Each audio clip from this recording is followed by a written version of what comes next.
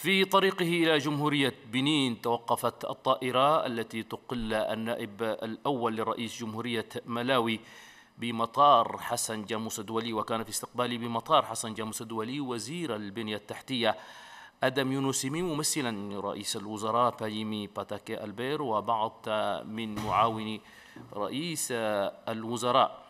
وخلال هذه الوقفة انتهز نائب الأول لرئيس جمهورية ملاوي الفرصة وتبادل معه وتبادل مع عدم المسلمين حول سبل تعزيز العلاقات بين البلدين والقضايا الاجتماعية والاقتصادية ذات الاهتمام المشترك. وبعد استراحة قصيرة غادر النائب الأول لرئيس جمهورية ملاوي متوجها إلى جمهورية بنين.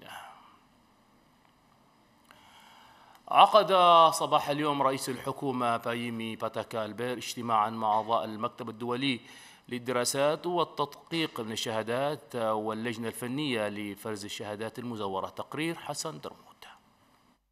هذا الاجتماع الأول لمعالي رئيس الوزراء باهيمي باداكي ألبير بالمكتب الدولي سيجيك أفريك بهدف مراجعة الشهادات المزورة وفرزها من تاريخ 1996 2016 رئيس الوزراء فاهمي فتاكي ألبير بصفته رئيس لجنة المتابعة والفنية لمراجعة والتدقيق في الشهادات الموظفين والمتعاقدين بالوظيفة العامة.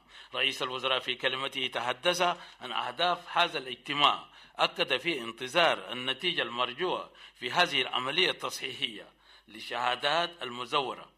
من أجل تنظيم وضبط الرواتب على الوجه المطلوب للإدارة الجادية لمستقبلها بالوظيفة العامة وأن لجنة المتابعة والفنية أعطت المكتب الدولي سجيك أفريق مهلة ستة أشهر لتسليم تقريره النهائي.